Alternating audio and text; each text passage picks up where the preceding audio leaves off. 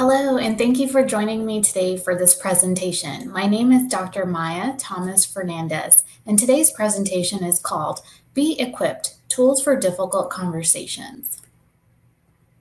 In today's session, we'll go over some tips and tricks and tools to guide you during a difficult conversation. Here's a little bit about myself. I currently work as a director in the Employer Resource Center at Dallas College.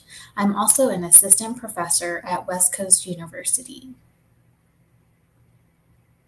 So, what is a difficult conversation? I think we can all agree that we've had conversations that are great, but then somehow turn sour. They can turn south either by just the tone of the conversation or something that someone says.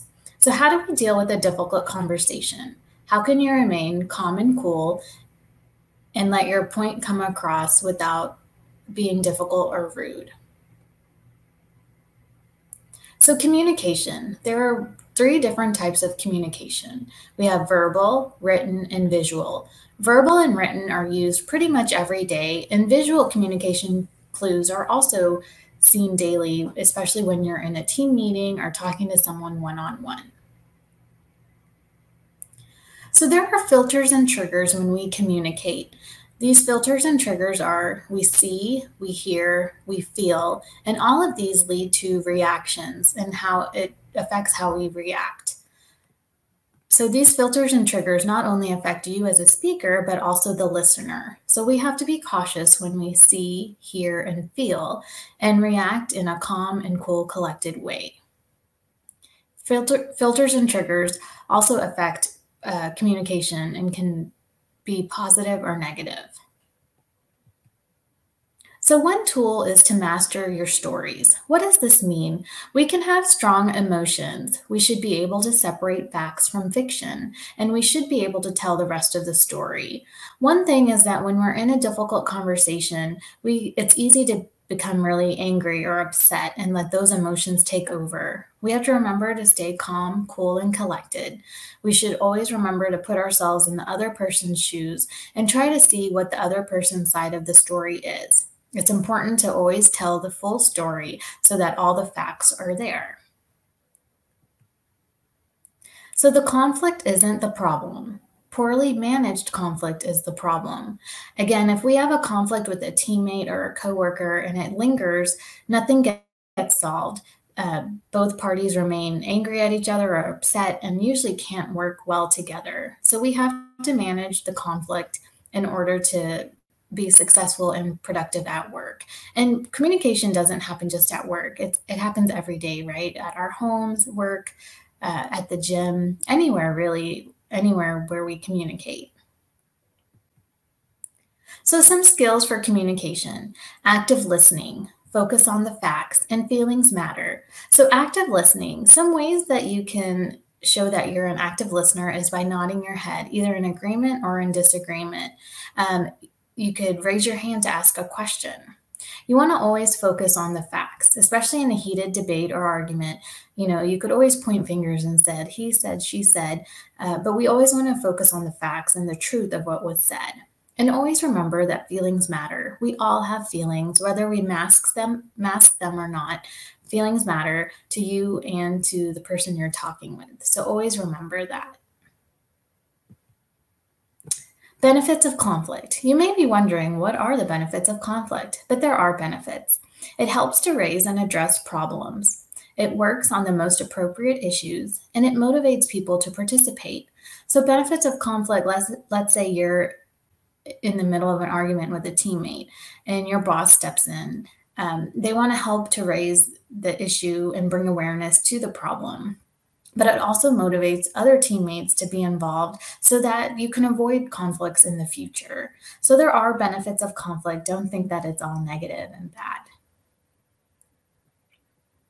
There are negative results of conflict, though, especially in the workplace. It can hamper productivity, it lowers morale, and it causes inappropriate behaviors. If you've been on a team project where there's teammates fighting or not getting along, you probably recognize these three things. This also affects a team. Let's say you're playing a sport and you get into a fight with one of your teammates. You know, all of these things happen there too. And it also happens in the home, especially among siblings. Um, also, if parents fight, uh, these all are issues that can be um, raised in the house as well. So we want to avoid these negative results of conflict the danger of conflict. There is also danger to conflict. It causes inappropriate behavior and it damages relationships. Inappropriate behavior can be seen in the workplace, at school, at home, and damage relationships across the board. So we want to be mindful of this and always repair any argument that you're in, repair those relationships. Um, especially with coworkers, remember you don't have to take them home, but you do have to work with them. So it's good to have a collegial relationship with those that you work with. Another tool is to improve your listening. And how do you do this? Um, I want to encourage you to vent, whether it's to your whole team or just to a trusted uh, coworker. It's, it's important to vent so that you don't keep your feelings inside. Rephrase what you hear. It's important for the communicator to know that the listener is listening. So rephrase what you hear. Ask about feelings. Again, feelings are important to all of us, so we want to make sure our feelings are seen and heard keep the focus on them. Make sure you're asking questions, really doing that active listening, nodding your head, um, you know, showing them that you're paying attention. Look them in their eyes when they're speaking. And then help brainstorm, especially if a person's in a difficult situation. They may be coming to you for trusted advice. So help them brainstorm ideas to help alleviate the situation they're in. Another tool, refuse the sucker's choice. So what do I mean by this? We want to avoid either or statements. Clarify what you want to achieve and clarify what you want to avoid. This is especially important in an argument situation or in a difficult conversation. Um, you want to let the other person know what you want to happen and also what you want to avoid. Um, some examples of this, things that you want to achieve, a good working relationship. Again, you don't have to be friends, you don't have to take the person home, but you want to be collegial with one another. And some things you may want to avoid, um, you know, fighting with the person all the time or getting into arguments all the time. And the result of this is to combine the two into an and question. So combining what you want to achieve and what you want to avoid with an and. So, managing conflict. Uh, this is important. You need to know your hot buttons. We all have different triggers that set us off. So, know what those buttons are for you so that you can manage yourself. Which again, managing yourself, knowing your hot buttons. Work the issue, not the person. It's easy for us to want to bl- place blame on the person that we're talking with. But again, focus on the situation at hand, work the issue and not the person, and then find common ground. Again, um, especially if it's something at work, um, find a common ground that you can be on the same page with with that person. If it's a conflict at home, especially among among siblings, find common ground between both of them so that everyone's happy and that everyone can uh, live peacefully together. Another tool, mutual respect and purpose. Again, especially whether it's at home, at school, or at the workplace, we want to have a mutual purpose and respect. If we don't respect one another, it's hard to get work done and to work together. And this is important not only at work, but at school and at, at home. Um, as an educator, I have seen students uh, not get along together or fight for whatever reason or you know get upset at one another especially like in a lab setting um, so it's important as an educator just to remind students hey have a mutual purpose and respect we're all here to learn and to grow and so we need to be here to help one another and not to put each other down Another tool is to create safety. What do I mean by this? Especially when you're in a difficult conversation or a heated argument, it's a, it's easy to point fingers or just to to let the situation grow big. Um, but you want to create safety for all parties, not just one or the other, but for everyone. And by creating safety, people feel safe to talk and to share their ideas, and they become a little bit more vulnerable, which is important in um, healing a difficult conversation and being able to move forward.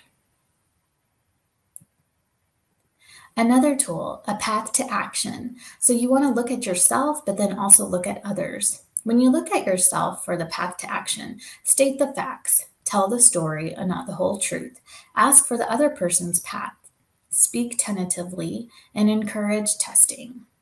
For others, you want to ask questions, mirror what you're hearing, paraphrase what you've heard, and then priming.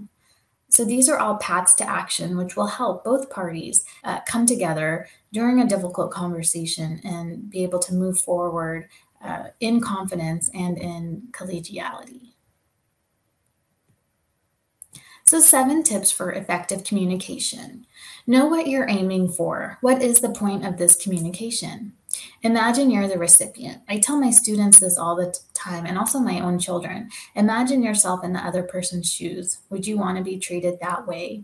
And this is one of the golden rules, so always remember that.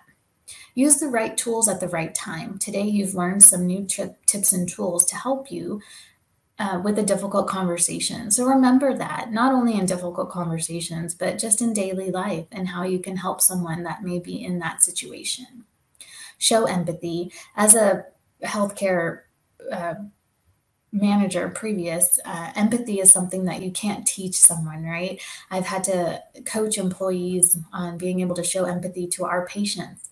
It's important to show empathy to those that we communicate with.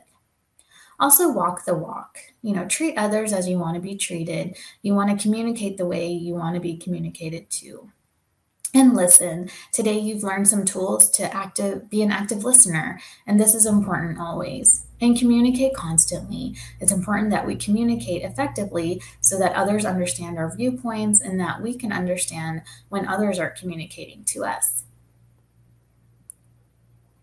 So, tips for written communication. I include this because we're in um, such a virtual world right now with everything going on, it's important that we rem- remember that written communication matters too. Subject lines matter. This is important for email. Um, you know, there may be a trail or a thread of email that's constantly going on, but the subject line has far changed. So make it a point to change that subject line so that all the readers know exactly what this email is about. Channels of communication. In this virtual world, there are so many channels of communication. You may use Team, Zoom, WebEx. Uh, there's so many different channels. Uh, making sure you understand how to use those tools appropriately and properly. It's not a bad idea to check the help section out or to ask for help or get training. Um, a lot of uh, organizations will offer uh, professional development credit hours if you take uh, training to learn how to use the tools properly. So take the time to do that so that you have all the tools at, available and you're equipped properly. This is one of my favorites and also a pet peeve. Use spell check. Um, Grammarly.com is a great free tool. You can add it to your browser and to your uh, Word or Microsoft products. Um, using spell check and just a grammar check will help to make sure that your writing is clear and concise. How many times have we all received an email with so many spelling errors and the grammar was just off? It makes you not even want to respond because, you know, why if the sender didn't take the time to proofread and use spell check? Which comes to my last point proofread before hitting send. It's so easy to be quick in our responses and type really fast and just hit send, but always read before hitting that send button because it's amazing uh, the errors and mistakes you can catch before you hit send. Uh, so I hope these tips have come in handy for you and that you'll remember these um, the next time you are writing an email or a, a letter. So, in conclusion, I hope this presentation has equipped you with more tools to be productive when you're in a difficult conversation. And even if you're not in a difficult conversation, um, you can help a coworker or a spouse or a child who may be in a difficult conversation to be able to calm down, to remember to actively listen, and to let their feelings be known. Uh, please keep in touch. My email is here. Again, I hope you enjoyed this presentation. Enjoy the rest of this conference and have a great day. Thank you.